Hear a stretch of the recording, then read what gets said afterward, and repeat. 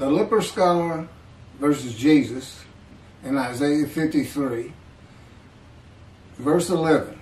The speaker is God. Out of his anguish, he shall see it. He shall enjoy it to the full through his devotion. My righteous servant makes the many righteous. It is their punishment that he bears. That would be the same as Ezekiel. He bore the punishment of the house of Israel and the house of Judah, which was part of God's fire refinement in preparing him to be a prophet to the Assyrian Babylon Babylonian exiles.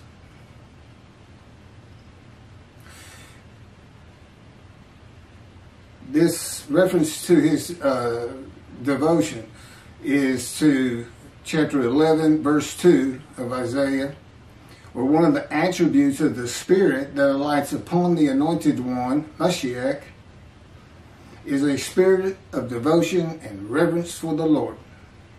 The anguish is the emotional and physical pain Ezekiel, for instance, suffered by punishment in the power of God to be made suitable for his purpose, which in my case might prosper. God's righteous servant, that is the Moshiach, and myself, when I come out of God's fire of refinement and the anguish of it, and there's been plenty, I am very devoted to God. I'm devoted to the Jewish people. I'm devoted to the country of Israel. This is this is my whole world, my whole focus, as though this is why I was born. As the twig of the shoot that grows from the stump of Jesse.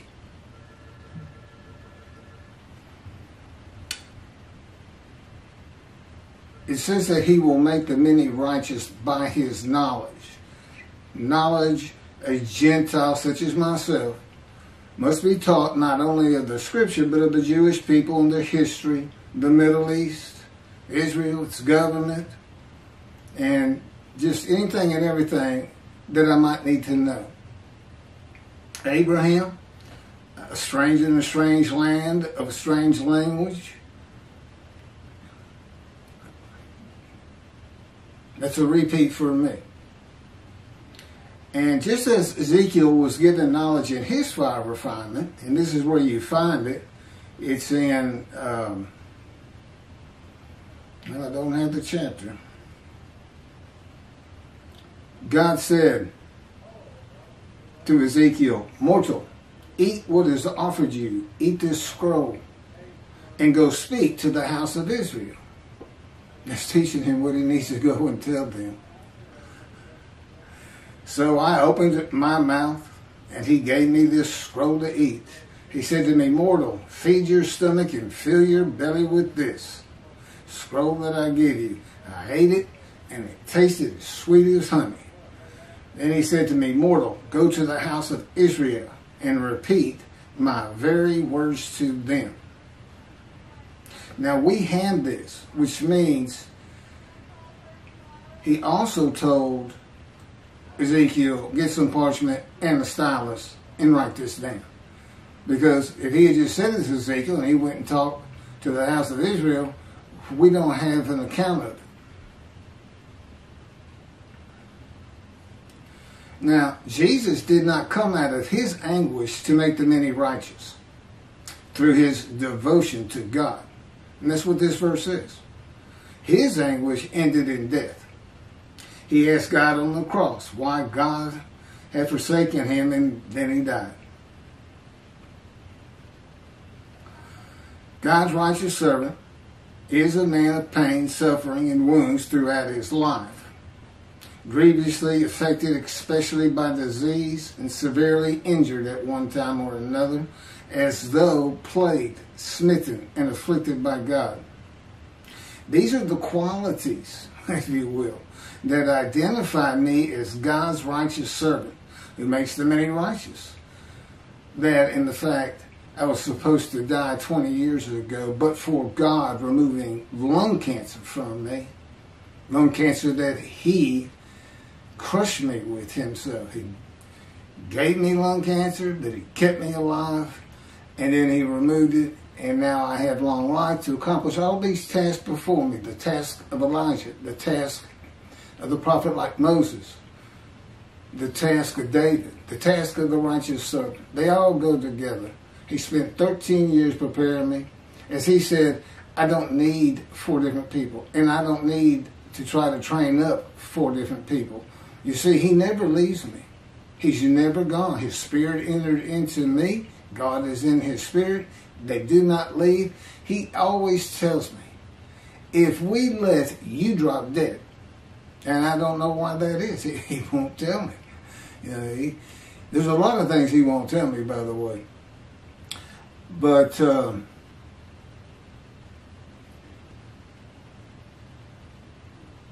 it's, it's this life that I led that has prepared me for this. I've been down low and I've been up high, practicing law. Uh, I've been thrown out of schools. I failed ninth grade. Uh, just you know, I, I, have run the gamut with the, and with different peoples and I've been in poverty for 13 years. We walk all the time. I see who lives out there. I see the people that live on the streets. I talk to them, and um,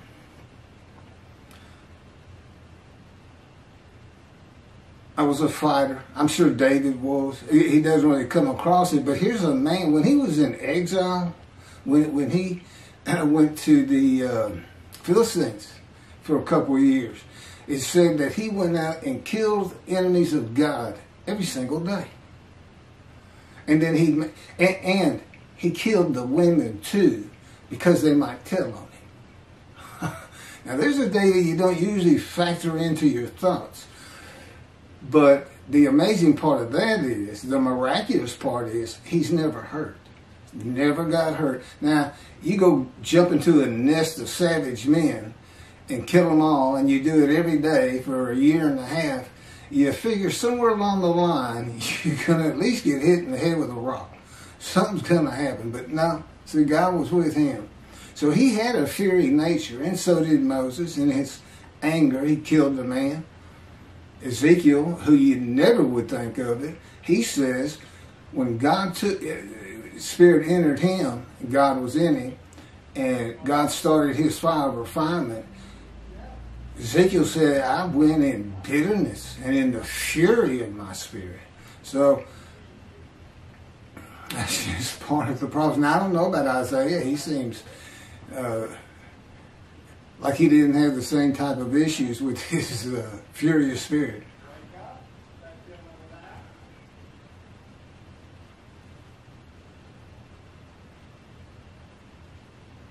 And if you go to Ezekiel, God goes out of his way to say, I know that those who do not revere my name, esteem my name, have been talking about me, and this and that. And he said, and I've heard them. And he said, and I know there's many who do revere and esteem my name, and for this day, I'm preparing a roll of remembrance, scroll of remembrance. And that would be for those who esteem his name, revere him, which means heed him. And that's what's written into the covenant of Jeremiah 31. But there he said, when I forgive your sins, that will make, of course, Torah written on your heart, which I've explained. That just means a lot of people are going to come back or start into Judaism and put a better effort towards learning the Torah. And, and that's it's just a metaphor, and that's what it's meant. And he also shows us here that it's not going to be everybody. In the covenant, he says, and all shall heed me. Well, that's what you would expect, you know, or from God's perspective. If I forgive everybody's sin, of course I would expect everybody to heed me. But the fact is, I know better. That's what he would tell you. I know better. I know people. I made people. And you know, there's so many people that'll never believe a word I say. There's atheists.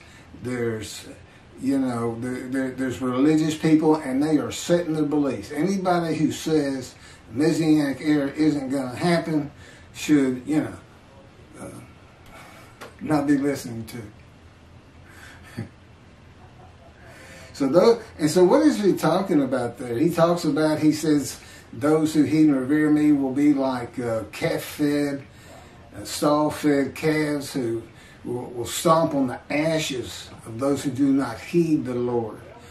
And basically it's an antiquity where it's, it's verses for antiquity and today. He's basically talking about heaven. And that's something I haven't, I don't believe in all these videos. And of course, this is the last one for Isaiah 53. That Oh, okay, I'm going to go forward first. I think I might run across it here in my notes. Again, I'm reading from my midrash on Isaiah 53 and from the writings in the two books that God dictated to me. This is how he says it in Malachi. He says, The Lord has heard it and noted it, and a scroll of remembrance has been written at his behest concerning those who revere the Lord and esteem his name. And on the day that I am preparing, said the Lord of hosts, they shall be my treasured possession. I will be tender toward them as a man is tender toward a son who ministers to him. And he tells me that's his reference. If I'm going to be tender to people, it's going to be in heaven. That's just how I am. And that's what, and, and if you, you love as, you know, as to your son, this and that, you would want them to go to heaven. But that's what it's for.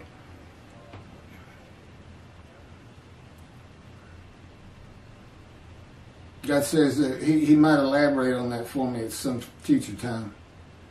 But that, that's what it says. A man who is tender towards his son, who ministers to him, is a man who never wants to be without him. He's going to want him with him.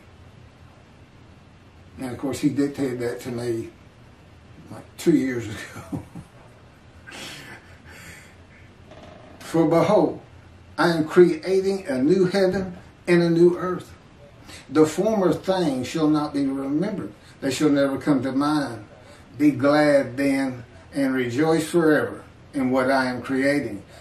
For I shall create Jerusalem as a joy and her people as a delight. Now here's God calling Jerusalem heaven. Okay, why?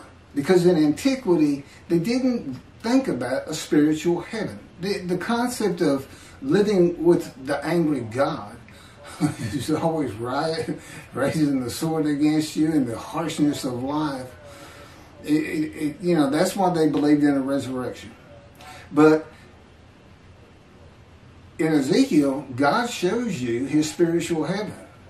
It's in verses 1 and 10.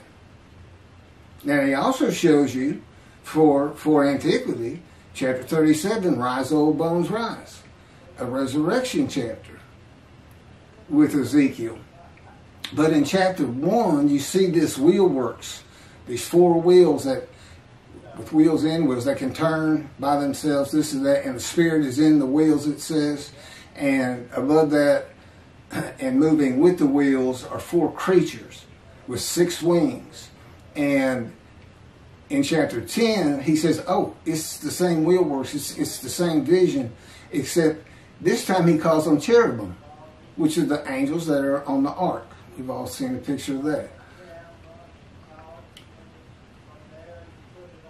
For as the new heaven, oh, back to that. How is that a spiritual heaven? It's the eyes. I'm out for a walk. I haven't read uh, Ezekiel yet at this point in time, some, some years back. And God and I have walked up to the city park, to a beautiful park, a memorial park. And it's got a three mile running loop, golf course. It's got everything. Trees everywhere, paths, railroad trains cross through it. And uh, he had, you know, let me go out there and get some exercise get out of the house. And so I'm talking to him after I ran. Sitting under a tree in some shade, getting some getting cool. And we were discussing whether or not I was going to jog home from there, another two miles, or or we were going to walk. You know, we just chit chat. And all of a sudden, I'm in the galaxies. It's a vision, but it's so real. I mean, it's like it's actually happening. I'm in the galaxy seeing the most amazing sights I've ever seen in my life. And this is a vision in spirit as opposed to a vision in body where you're in your body. I mean, you recognize yourself. The spirit, you can't see. And I'm looking out, looking out, and all of a sudden I realize there's no legs, no arms. There's nothing there. It's just me, and I felt like a pair of eyes. So that night, he tells me, this is how he taught me. So that night, he says, read uh, Ezekiel 1 and 10. The minute I saw the eyes being gathered into the wheels and on the angels, I said, that's the spirits of the Jewish people. It's going to and fro throughout the land. And then in 10, in 10, these, these cherubim, flapping those wings, they're covered with eyes. The wheels are covered with eyes. And they lift up to the to, to the platform of heaven, to God's house, the east gate of God's house, God's house, heaven. And God is there. and there's a vision, a visage of his throne. Okay, it's a spiritual heaven. He's picking up the Jews, the spirits, and taking them up. And and, and he told me the wheels represents those who died in the diaspora whereas the eyes upon the creatures or the cherubim represent those living in Israel. It's just the wheels indicate he had to go get them. That's all. So there's a spiritual heaven, and yet, but it, well, anyway, I'm not going to go back into the resurrection. It's just uh, you don't want it to happen. It would destroy Israel. What are you going to do with with the savage slave Israelites? What are you going to do with those people? God says, run. That's what you do. Get out of there. I said, why we just send them towards the Palestinians and use them to drive them over to Jordan where they belong?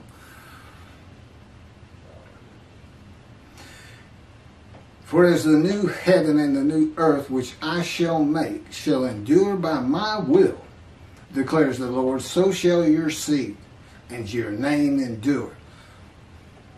You know what the new heaven is? It's when all these spirits of the Jews rise up, and now they're angelic. Now they're angelic. They won't have wings, but you're angels. So God is adding a brand new host of angels to his heaven. The angels Israel. That's what that's all about. He's taking me there in visions. I've been to the very room I'll have. I've seen the meeting room and I sing the entertainment. Now you're a different being, and I'll get to that, where he says you will never remember the things of before, and that before you pray, I will answer. I have the answers to those. And I think that's too detailed for, for, for what I'm doing right here, and I need to move on. But against the last tape, and I wanted to make sure this was clear in the scroll of remembrance, that's what's being talked about being entered during the day of the Lord because everybody's sin free. I mean, that's how you know it's going to be different. Because everybody starts even.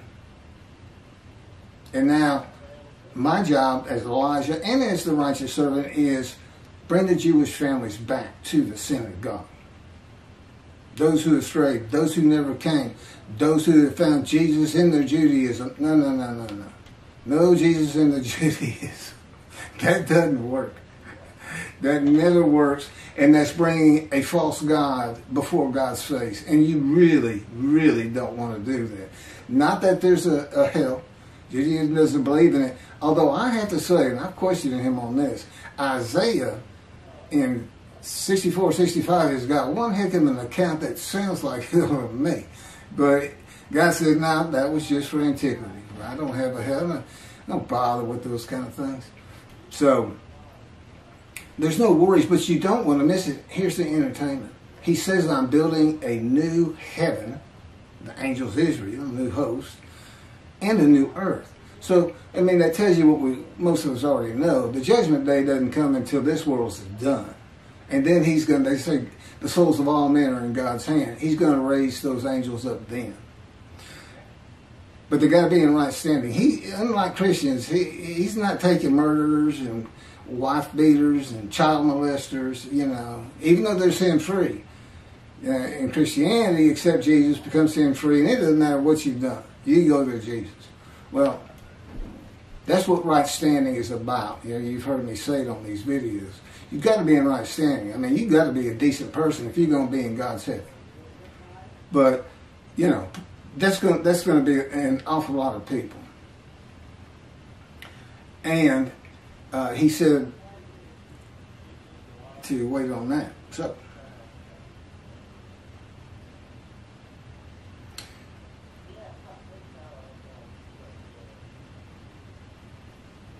Verse 12. Assuredly, I will give him the many as his portion. He shall receive the multitude as his spoil. For he exposed himself to death and was numbered among the sinners, whereas he bore the guilt of the many and made intercession for sinners. Okay, if you've watched these videos, you, you already know how this works out.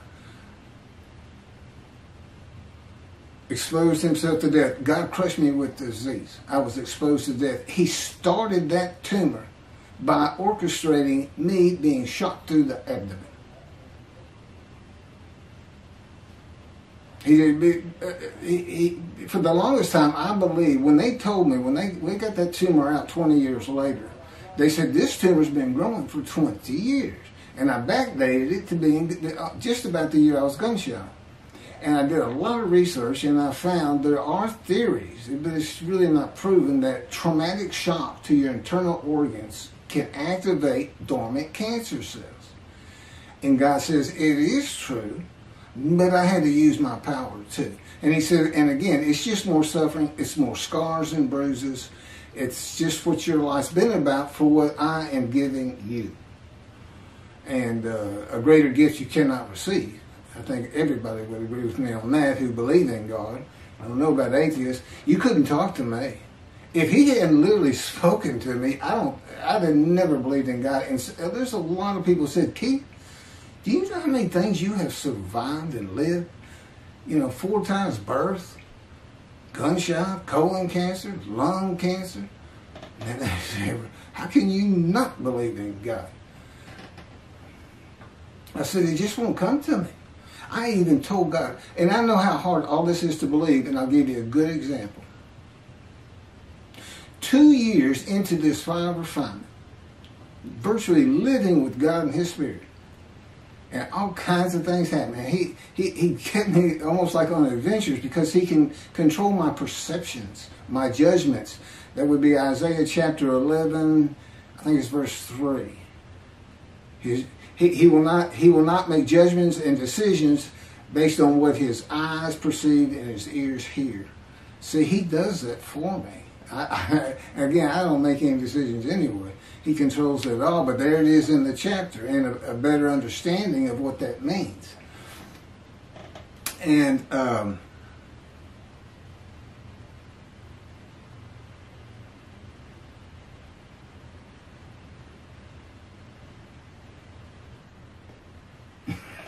carry on. Okay, I don't know where that was going. Somebody needs to. Oh, that's what he's doing. Somebody needs to to, to contact me someday and say, uh, you know, this video, you right at the of telling me something I wanted to hear. And, and as we, as me and the Spirit call, call it, because it, it happens the end sometimes too. God just wipes your mind. It's just, you go into basically a state of awareness. I'm just, you know, I'm here and there's nothing happening. Just no, you can't, you can't muster up a thought. You can't even say to yourself, hey, I'm not thinking. You can't even do that. And that has to do with heaven. In heaven, you don't have a mind anymore. Spirit is so complicated. You know, your mind is just a little electricity, chemicals, different tissue of the brain. That's not who you are. That's that's not where your thoughts are. That's where your thoughts come from. Your spirit is your person. Your spirit reads that stuff in your brain. It reads this information coming in through your eyes and your ears in the forms of electricity, chemicals, and synapses, and things like that. and this is going to go back to before you pray, I will answer. In heaven, you become like me. God provides the information of your mind. Okay, but now mine's much more detailed. And but it's not as detailed as the Holy Spirit. But he's been with me my entire life. And um, so he can provide more knowledge of me um, than he does all the, you know, seven, 14 million Jews in the world, whatever the number is. I know there's about 7 million in Israel and 7 million in America, but I don't know how many are in Europe or, or this or that. And um, he is. And, he, and so I, I, he is proving to me that here on the earth, what it's like not to have your mind in heaven. And he can do it. And he can do it with all the angels. Now there's a process to it, and it gets a little bit more complicated. But this is for the Jews. This is what he's doing. It's not the Messianic age of the world to come. It's just simply not. And I've tried to explain that as, as best I can with him leading me on the way. He's leading me in all these videos. And he, you know, I have it all, my writings down. He tells me, okay, go, go here, go there, pace that. now, okay, now let's let's do a recording. And so, eh, eh, you know, I'm just a servant. It's just like, okay, that's what I say all the time. Okay, okay. and, and, sometimes I'm trying to say okay, and he's already lifted me up, and I'm walking to go do what he wants, and I don't even know what it is yet. That's how much he can control me. he doesn't even have to. Doesn't have to tell me anything. I'll just go do it. That's the kind of control I'm talking about. But he can be your mind. And that's why before you pray, he can answer. It's because he's the one putting it into your mind to think, I'm going to pray. so he already knows. But it's, it's real complicated, but uh, as you might imagine. But he can do it. As many people as he can get into that scroll for a special heaven. Because heaven is so much of the mind. It's like the realest vision you could ever have. And I and now he I got that finished. He's picking back up with the entertainment in heaven. He's building a new world. He told me, he says, I'm in this room. It's got a bed, a table, a lamp. It's real, real sparse, kind of like where Elijah stayed at one time uh, in his stories. He says, go to that bay window. And a bay window is, you know, you have a square room, but it, it, it, it, it, it put it's it's outside of the room. It's like a it's like a porch, but you know it's got uh, glass all around it, but you can see out. He says, "Look down," and I looked down, and I saw the earth in chaos, just like reading Genesis. He is starting it up. That's it. And in heaven, you know, everything's different. You're a different creature, but you're you. And the, the whole idea of what it means with you won't remember the things of before. God says, look, the Holocaust people don't want to remember the Holocaust. I said, well, how are they going to, you're building a Jewish heaven, how's everybody going to know they're Jews if they don't remember being a Jew in heaven? And then he showed me how. And you won't wonder, why do I know all these things about Jewish people and myself as a Jew? and that'll be it. He won't let you wonder. Your mind just goes to another, to something else. He says, I'll take care of that. That's easy. He's so funny. Okay, my camera stops at a half an hour, so picking back up, I was talking about the world. God's going to choose the people again, he's going to basically do the same thing. They won't necessarily be called Hebrews and Jews, and you'll have different characters and names, but you're going to see how the history of the Jews played out. And of course, you see the creation of the first human beings, what the people were really like at this time. And uh, it's going to be really interesting, really interesting. And uh, and like I said, there's meeting places, and so here, here, you know, God gave me an amendment: be mindful, which uh, is for everybody to decide and be debated by the leaders of the different Jewish religious movements, ultra Orthodox, Orthodox, conservative, reform. I don't know if they'll ever win but uh, they don't believe in the coming of the Moshiach. I don't even think conservative does. And uh, they're wrong. They're wrong. But uh, everybody's wrong about when he comes, there's going to be a messianic era.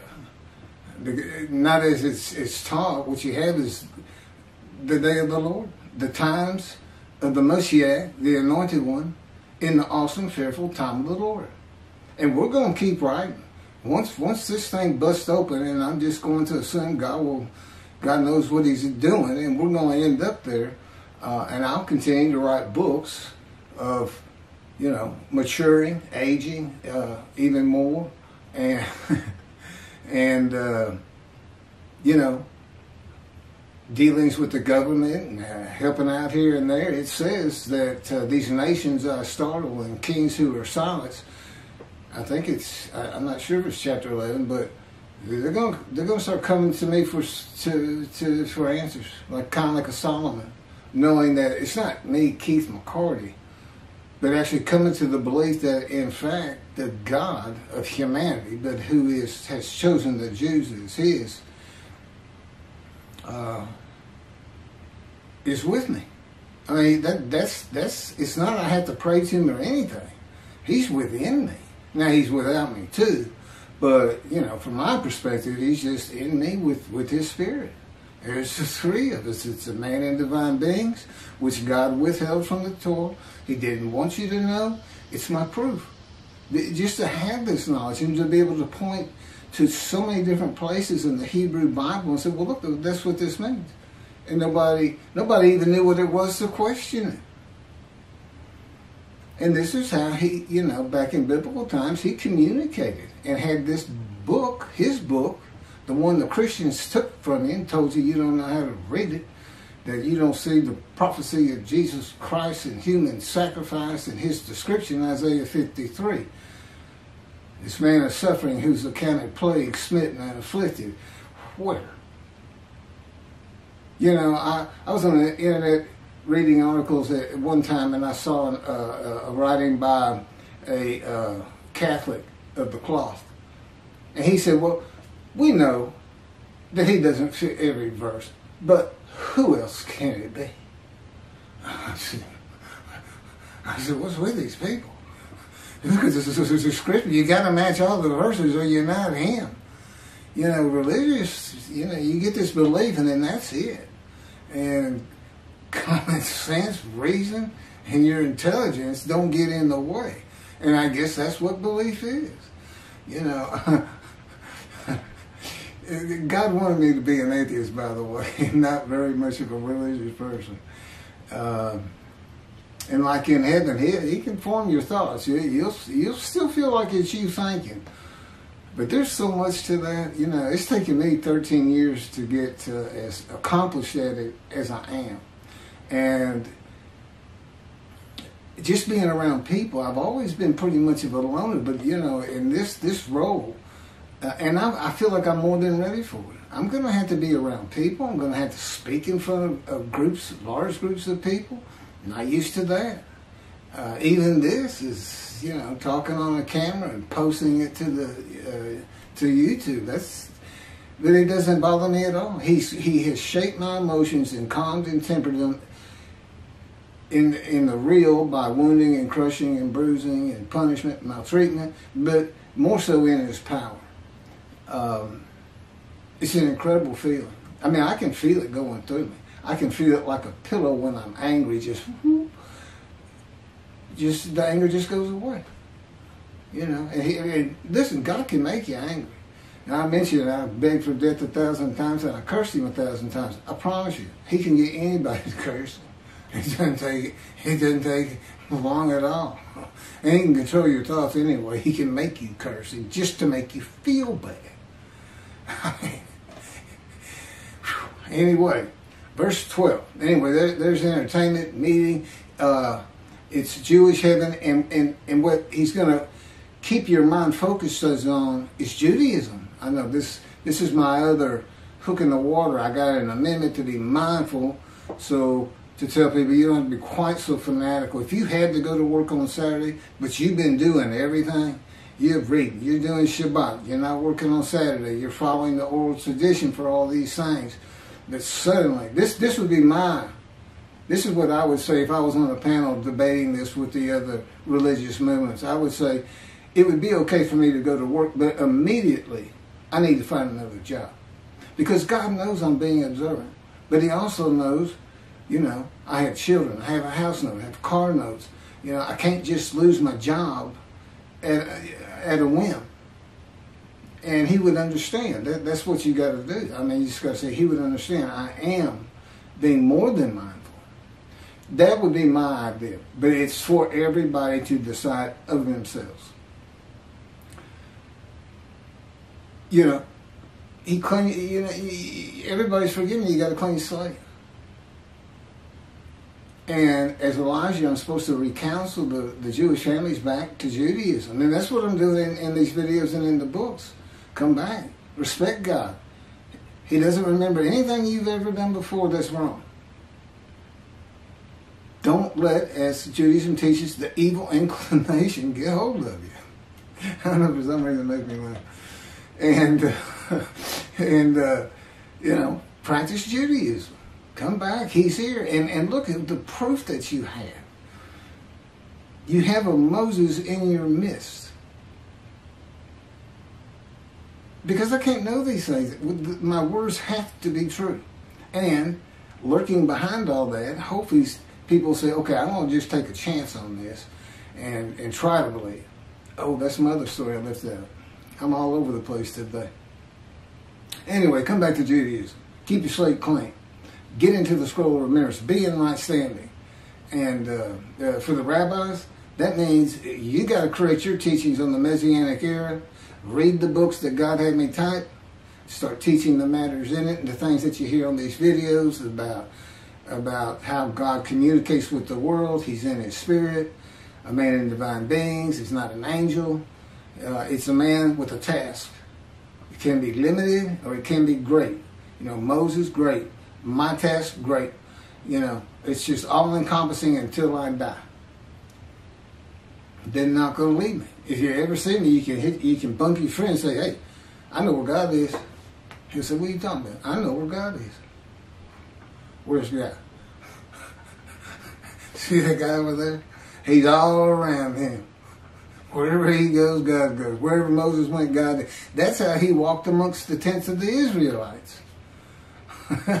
you know, it was Moses walking by, but God's spirit was in him, and God's in the spirit, and he's sitting there talking to Moses. We need to check these guys out in this tent.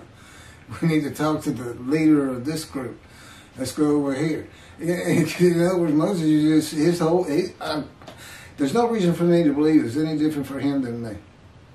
And um, it's an incredible thing, you know. And Isaiah went through. Look at the book he wrote. It is not easy working for God. He, as I mentioned, my first draft of Isaiah 53, he irritated me so bad. Things, just little things. You know, uh, I would delete those five pages. I said, I want two days on those five pages. He said, yeah, I know, but I decided I don't want them. Anyway, I ended up trying to throw the computer out of the window. I didn't really want to, but I was so mad. I think I would have if he let me, but my arms wouldn't move. the power he had all around me and through me. But um, I think that I think that's right to on things I've been talking about. Verse 12, Assuredly I will give him the many as his portion, for he exposed himself to death. And again, you know, I had the cancer, he was behind it, he crushed me with cancer, I had bullet wounds, and so my portion is the many, and that means the people who made righteous going to follow me because he's going to appoint me a ruler amongst the flock and then they become a multitude. And I hope it's a lot more. I, I, hope it's the largest multitude anybody ever saw. I hope somebody says that's not a multitude. That's a mob. that's you know whatever it turns out to be. And I hope to make a living this way, writing and um, uh, speaking synagogues, seminars, uh, groups, just groups in general, big groups, small groups. You know, just say donate what you can or what you will or what you feel good about. We need it. Um,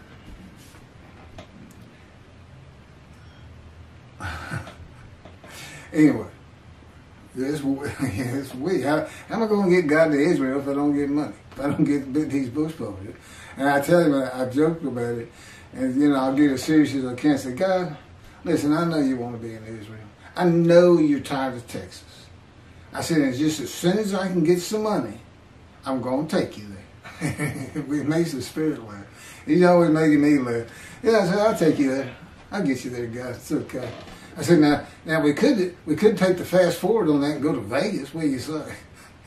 He said, you know, I won't do something like that. I said, come on, it's just a roulette ball. Freeze it. You know, let's play a little blackjack. You know, tell me what the other cards are. We'll clean up. We'll be in Israel overnight. He said, Keith. anyway, he won't do things like that. That's him making faces with my head, my I don't even know what they're doing.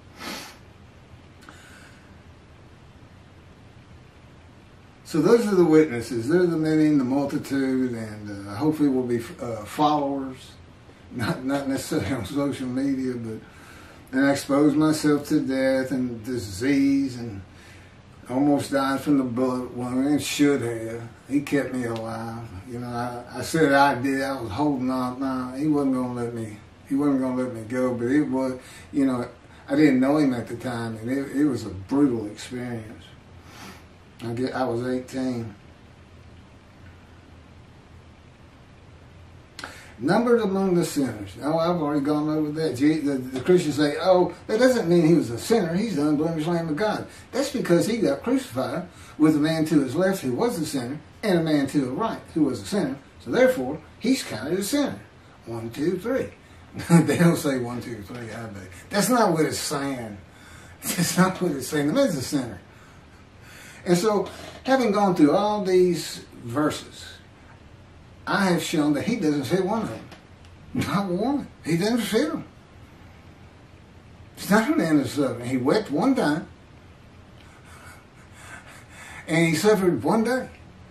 It was a big suffering, I'll give you that. But I mean, yeah. That's not a lifetime. It's not descriptive.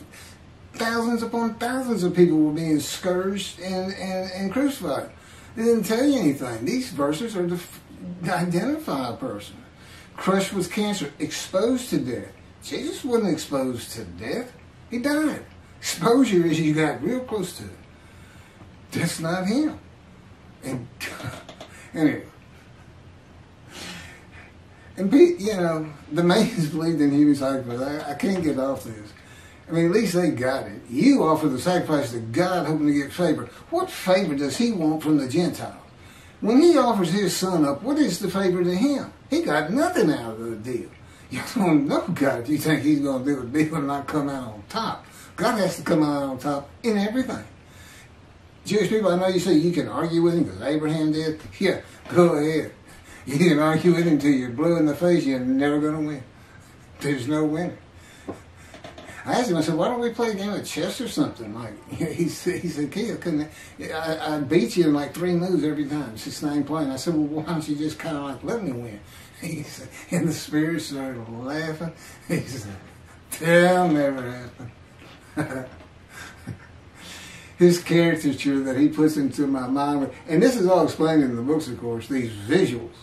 You know, I, I, I'm a, I'm like a walking visionary, but it's not of the future. There's just always pictures when we, and, and, I can do it to them. I can I can be trying to think of a store I want to go to, and I can't remember the name, and I just picture it in my mind, and boom, they got it. so it's just a way of communicating. My communicate, you know, but it's good. If I was ever in negotiations with Middle East countries, or I'm dealing with kings, as it says in the scripture, I will that they'll come to me and we're trying to get things straight. You know, who knows where the world's headed? Um, they'll be right there. I'll say everything perfectly right for the people in the room and the people before me. Just what needs to be said, the perfect thing. Because he's perfect. And he can have me do and say anything he wants after training me up like this. You know, it's funny too because I know I've I've hit uh, um, uh, Miss Rabbi Tovia Singer a little bit because I, I'm really upset with the way because of his Isaiah 53 and because it's such a hindrance to myself, God, and Spirit to have all the Jewish people believe it can only be Israel, the Jewish people, and. Uh, and I know he's really reaching, I bet he knows he's really reaching on some of that, but it's worth it as an anti missionary to fight Christianity, to bring Jews back to him. And I know that's what he's doing, that's fine. Like I said, I'm sure I'd like him. He's very personable, but, you know, God has me say things as he will have me say them. And what, what a great assist he would be for God in this thing. He's got radio show. He's got all those followers. He's he's got a nice setup for doing YouTube. you know, I'm in this 40 year old room that I call the adjunct of the holies of holies. And there's paint peeling everywhere. The pipes are shot.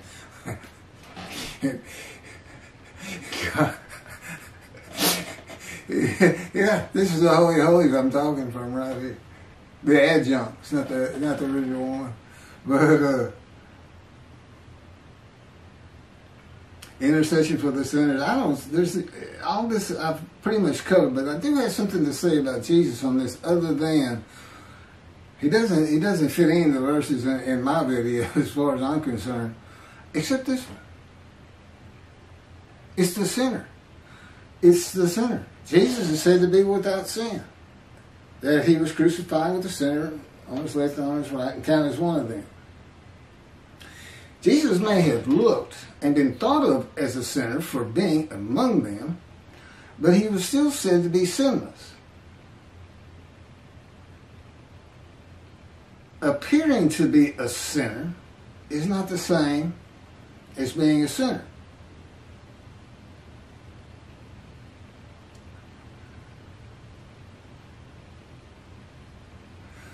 Being said to be unblemished and sinless is not the same as being unblemished and sinless. If somebody saying you are doesn't make it so. And the scripture will tell us contrary.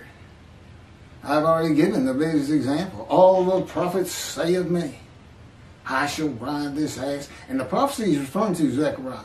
Pretty sure it's in Zechariah where uh, Moshiach, or the anointed one, he rides an ass in and he defeats Rome, which is what would happen in Jesus' time, and he's uh, appointed king basically of the world. Okay, defeating Rome and being appointed king is the furthest thing from being spit on, mocked, scourged, crucified, and raised on the third day. I guess raised on the third day would be good. I think it's just a story. But um, they had Egyptian gods, and pharaohs. And, anyway, I'm not going to get into all that. What people believed in antiquity, you can go to the History Channel or Google it.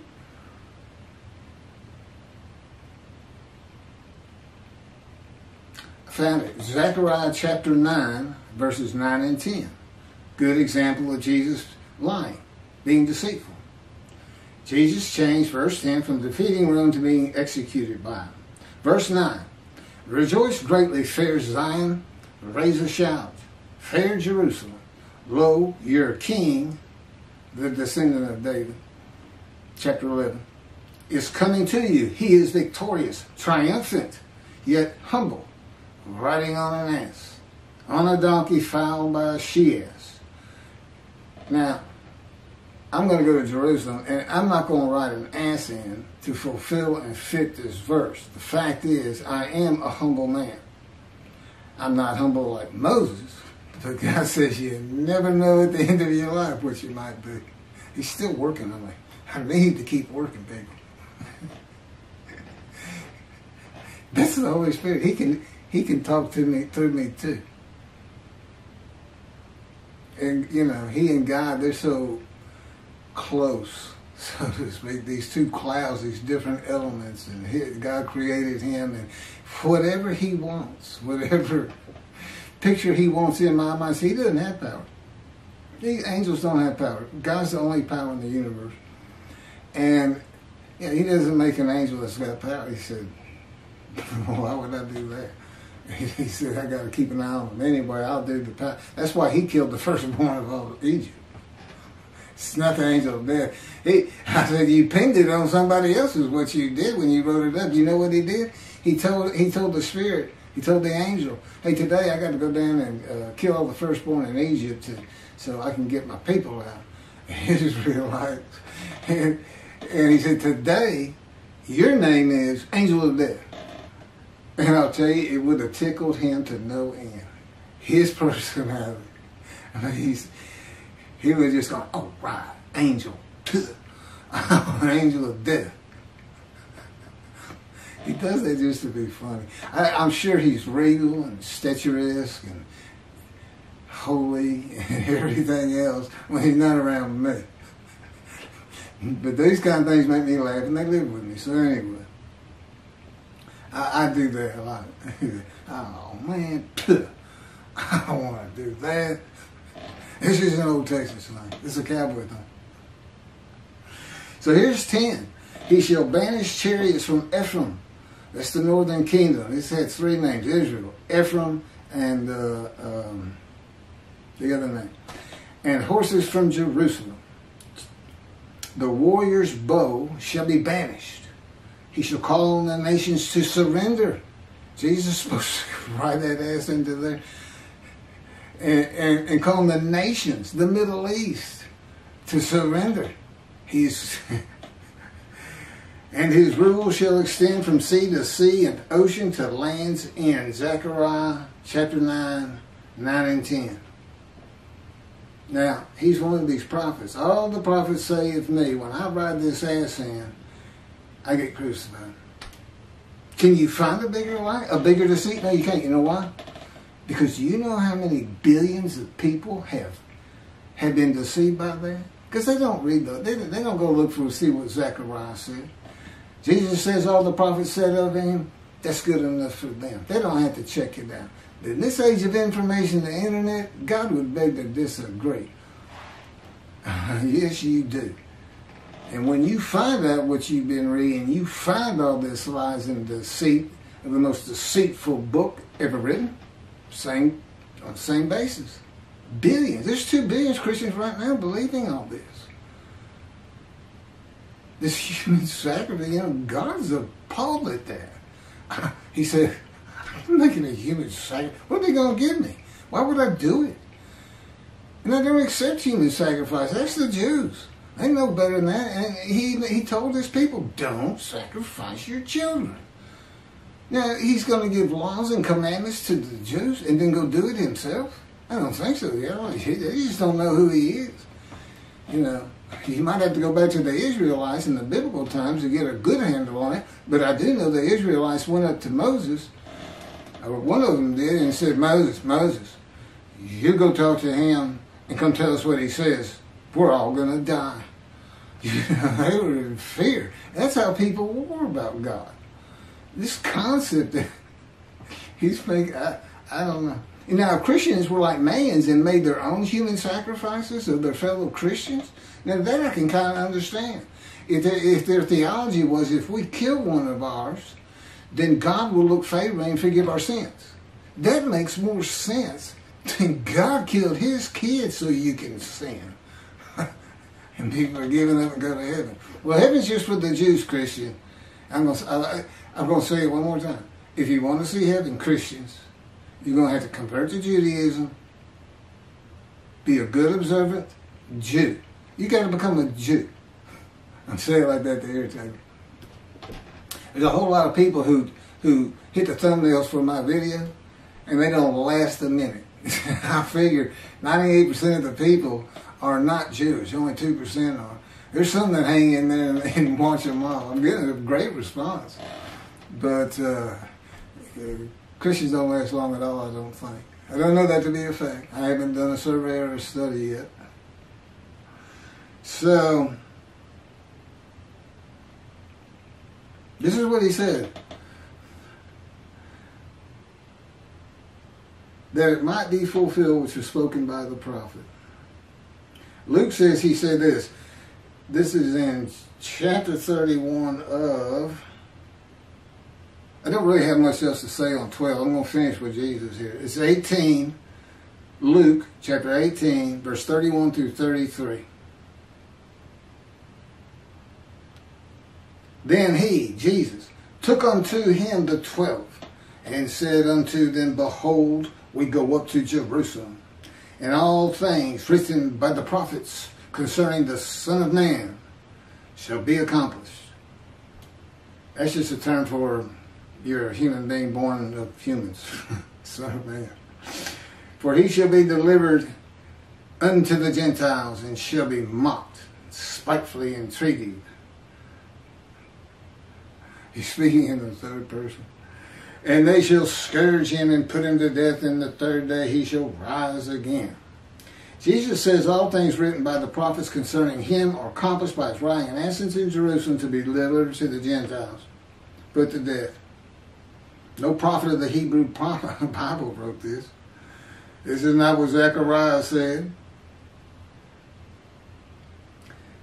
the Hebrew Bible, Great Scroll of Isaiah, the Apocrypha, that's what I was looking for, and the Pseudepigrapha are all the possible scripture that Jesus could be referencing, and not one book mentions a Son of Man, God's righteous servant of Isaiah 53, a Son of God, a man who is God, or any man to be delivered to the Gentiles, mocked, scourged, and put to death. A man who dies for the sins of other men, any man who is to rise from the dead on the third day, or a man who is sacrificed or made to, sacri- made to sacrifice himself by God. This is just a big lie. And a manipulation of Hebrew scripture. And I pointed out another one earlier. The book of Hebrews says that when Israel violated his covenant, including Moses, that he abandoned them. Know what it says? Says he married them, espoused them. Selective reading by religious people, what are you going to do?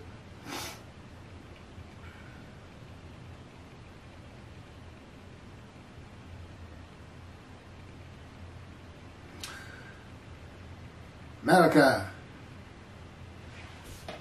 This is more deceit. If it's under deceit, better than a lie for Jesus. Malachi 1 Behold, I am sending my messenger to clear the way before me, and the Lord whom you seek shall come to his temple suddenly. As for the angel of the covenant that you desire, he is already coming. Jesus uses Malachi 3 1 that I just read to describe his cousin John the Baptist to be Elijah, but leaves out the angel of the covenant. This, is, uh, this won't take long. It'll take me longer to splice and snip and do all the things you guys do, but put these things together.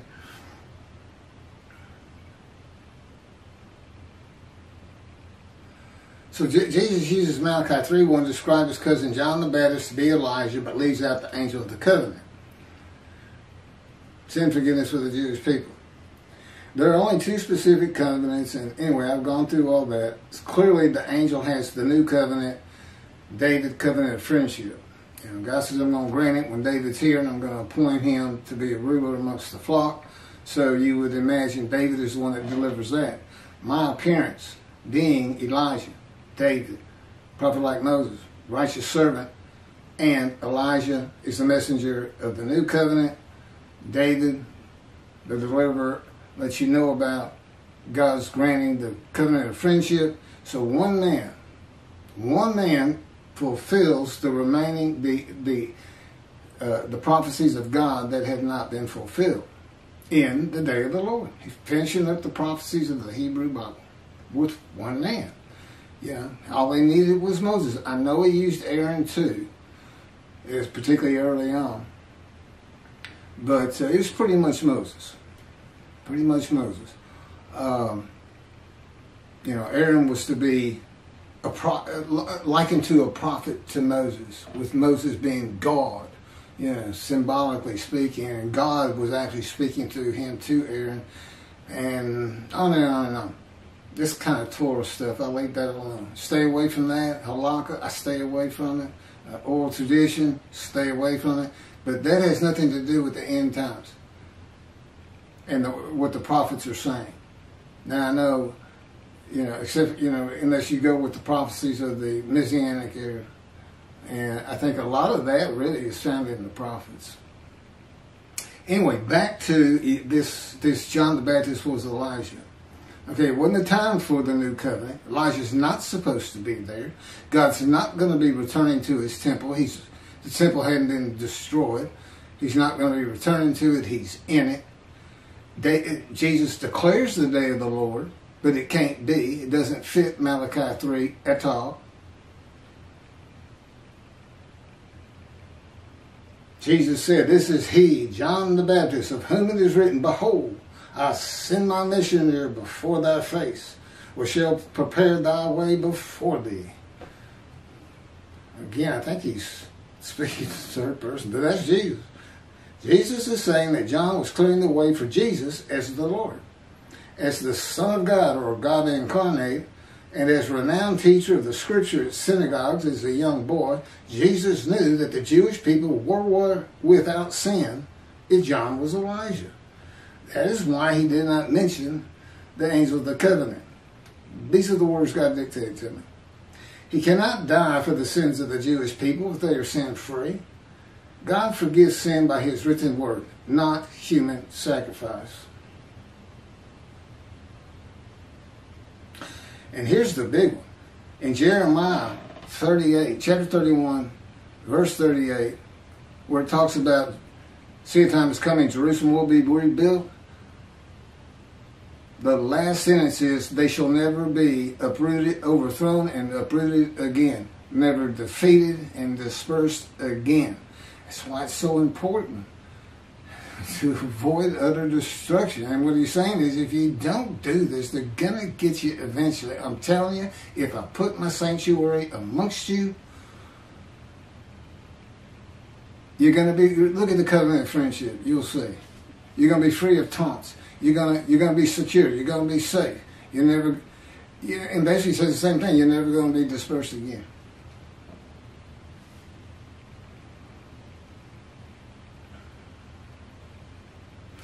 So if Elijah's there, and he and he's supposed to have the covenant, it means it's the day of the Lord, and the Jews will never be defeated again. Well, what happened? Well, you had three revolts by the Jews against Rome some 40 years later in 70 Common Era, and that's when the temple was destroyed. That was with the first revolt. There was two more after that. 50,000 were murdered and crucified and killed with swords and arrows uh, in the first revolt. It was huge. And uh, but but Rome won and the Jews were dispersed. That's where the diaspora started, and that's what God had Jeremiah writing for when he said, "Write this down. Get some parchment and a stylus. Write this down. See, your time is coming." You know, he told the Jews, "I'm going to redeem you. I've got a day. I got a guy, and I'm going to have a guy again. See, right here, it's 53. Got a guy." It's got a crazy description on it. It's, it's, it's going to do all kinds of things. And Isaiah couldn't have written it unless God told him, okay, now, now I want this. Here's, here's verse 5. Here's verse 10. Right? Okay, right there. You know, they're probably going back and forth. Isaiah maybe even said, well, how about this? And, you know, God, God would listen to him, and then God say, okay, now write what I said write. That's pretty much how it goes. Okay. So, anyway, John the Baptist can't be Elijah. Period. Jesus doesn't mention the angel of the new covenant. He knows full well the Jews are forgiven of sin. He knows full well. He can't not know, especially if he's God incarnate or this great mind that can go to synagogues and teach the rabbis when you're 12 years old. Don't tell me I figured out something Jesus couldn't. It's, it's tough enough to think that someone out there is going to say, well, he's just, he's just super smart. Really? I'm smarter than your greatest sages and rabbis? I don't think so. I've never been considered, I'm, I'm a smart guy, but I got to work at it. Like if I'm getting ready for a big test, I got to write it. I got to make a summary of everything I'm learning. It's the only way to make it stick in my head. You know, I'm not an intellectual, but I'm, like I said, I'm a lawyer. I did real well in the bar. I'm good at reading and comprehension. But I don't understand radio signals. I don't understand satellites. I don't understand TV. I don't, it just, I'll read it and say, okay, that happens. I don't get it. It just won't sink in, and that's the one I let, uh, as far as believing, and again, at this long time, but even this, the great belief the Jewish people have that God's actually going to do what he says. And it's, but it's not familiar to you. It's not what you're expecting. But I told him after two years, we're out walking, and this and that's going on. And I said, you know, I know you're God. I feel your power. I see you teaching me things I've never known. But I still can't believe you exist. It just won't sink in. I can't believe there's a God. I can't believe this entity, this this this living being with this power and absolute knowledge and what he can do with my body and my mind. It's just it's it's beyond comprehension. It's inconceivable. Holy Spirit loves me. This is a guy in some pirate ship, I think it is. Inconceivable. He's always saying. Anyway, I think I'm done. Now here it is. Here, here's, here's where Jerusalem's supposed to be built. This is my closing words on Isaiah 53. See a time is coming, declares the Lord, when the city shall be rebuilt for the Lord from the tower of Hananel to the corner gate, and the measuring line shall go straight out to the Gareb hill, and then turn toward Goah, and the entire valley of the corpses and ashes, and all the fields as far as the Wadi Kidron, and the corner of the horse gate. These shall be holy to the Lord. They shall never again be uprooted or overthrown. In my job as an oil, gas, and mineral law specialist, I would have to, to get uh, deeds from 200 years ago and have to figure out things like it's it, beginning at the third stone by the big elm tree, which of course is long gone. And you know, this is kind of like that, but but God and I went through it as best we could, and, and He assures me Jerusalem is much bigger than the Jerusalem of antiquity that this is referring to. So, let's get a temple built, and let's never see the Jews defeated and dispersed again. Thank you for listening to all this, and and uh, this is my Midrash on 53. Uh, there's actually more to it, and there's a lot of other things which I believe we're going to be putting on YouTube here in the future. Uh, that's not focused in on 53, but still, it's about the Bible. It's just different things we can still talk about.